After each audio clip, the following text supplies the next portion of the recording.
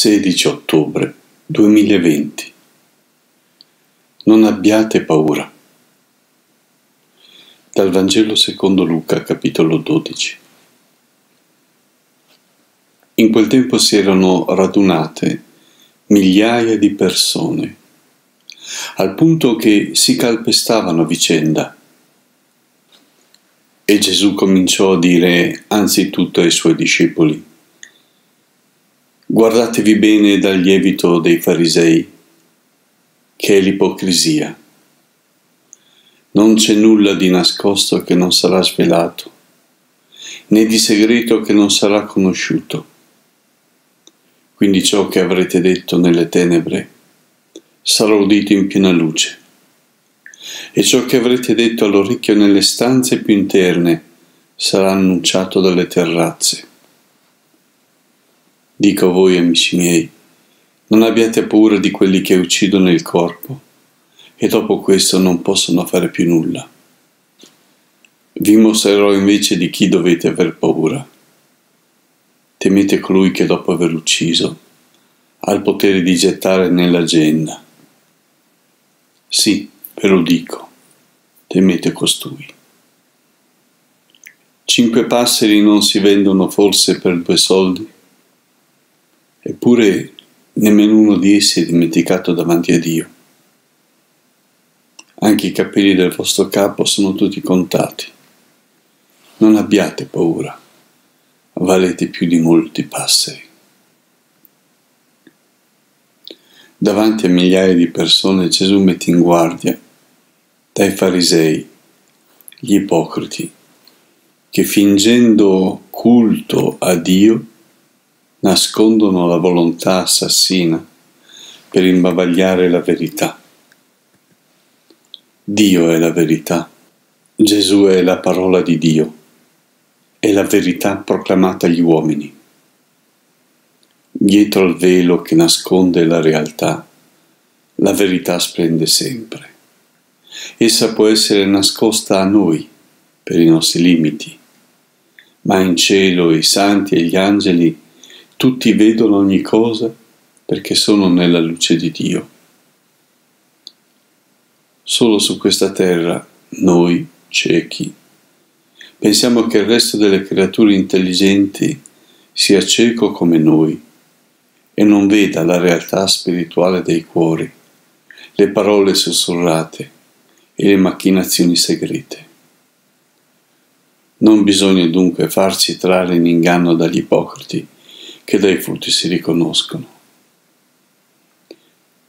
Non dobbiamo temere quelli che fingono amicizia per Dio e per noi, ma in realtà vogliono la nostra morte perché siamo da Dio. Tutto verrà svelato, tutto sarà messo alla luce. Il giudizio di Dio incombe sull'umanità, sui nemici della Chiesa e sulla Chiesa abitata dagli ipocriti.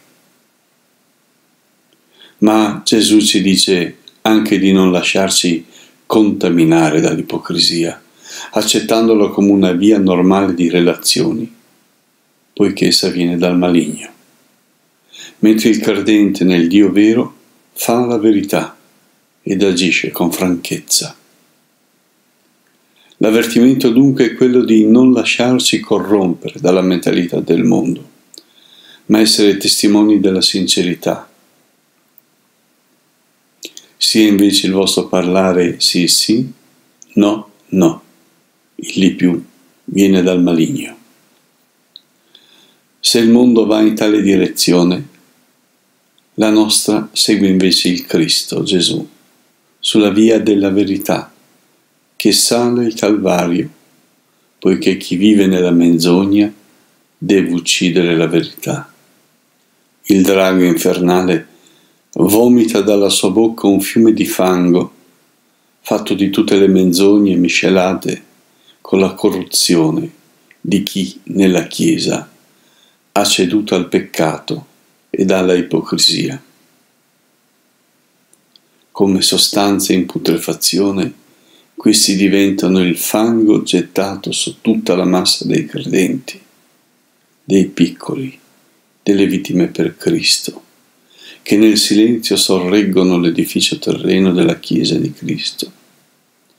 Essi sono come le colonne immerse nel fango che sostengono la città edificata su di essa. Se ancora esiste, se ancora non è sprofondata la città, è perché costoro tengono con saldezza, vilipesi da tutti, forché da Dio, la loro posizione, il loro appoggio solido sulla roccia che è Cristo. Bisogna temere non chi, dunque, si appresta ad ucciderci, poiché il corpo comunque deve morire, ma chi vuole uccidere la nostra anima nell'inferno.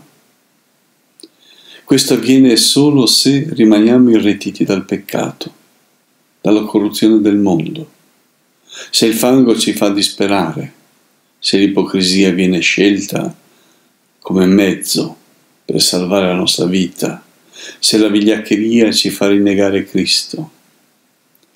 Temere questo dobbiamo, la morte dell'anima, che abbandona la verità e la fede in Cristo, che si svende per salvare la pelle, per avere qualche vantaggio, per sopire le ansie delle preoccupazioni materiali, per avere la stima del mondo, che chiede per poi ripagare con l'odio. Non dobbiamo avere paura, poiché questa è l'arma del maligno. Non dobbiamo cercare di salvare la nostra vita materiale, perché questo ci farà perdere quella eterna. Dobbiamo guardare in alto, volgere gli occhi al cielo, dove ci attende la patria vera, dove non c'è falsità né ipocrisia, dove la vita scorre insieme alla gioia e dalla separazione di ogni male. Il valore della nostra vita lo conosce il Padre. Nessun uomo può salvarci se non Dio, mediante il Cristo che ha mostrato con coraggio la via da seguire. Il mondo sferza, minaccia e uccide. Ma se noi non pecchiamo, l'accusatore, colui che accusa i nostri fratelli giorno e notte, non potrà toccarci perché è stato precipitato da Cristo. Il maligno ci può trascinare con sé solo se siamo solidali con lui nel peccato. Questo diventa l'accusa contro di noi davanti a Dio. Ma noi possiamo lavare le nostre vesti nel sangue dell'agnello ed essere vincitori con lui. La fede in Gesù ci salverà. Dio vi benedica.